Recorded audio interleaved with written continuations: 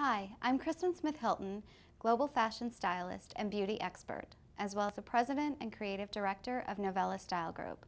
And this is how to tie a one-shoulder sarong. Using the sarong as a one-shoulder option is a great fashion accessory to any activity. If you're going to wear it as a top, you want to take the sarong, fold it in half, wrap it around your body, leaving the end about three inches. Then bringing the other side around up over the shoulder of your choice, connecting the two at the back and tying in a simple knot.